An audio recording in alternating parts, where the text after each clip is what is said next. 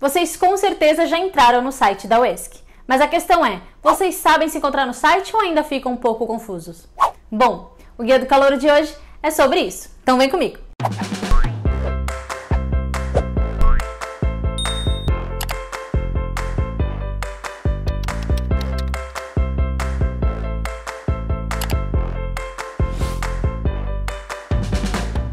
Pelo site da UESC é possível conhecer diversas áreas da universidade.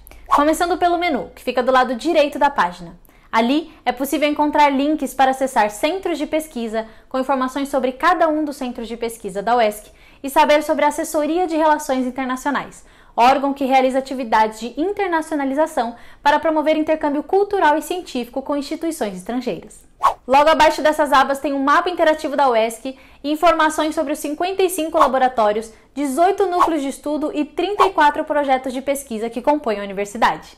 Na área central do site tem links que direcionam para a página UESC Acontece, com blocos de notícias, eventos, cursos e um mural com atividades desenvolvidas por todas as áreas da UESC.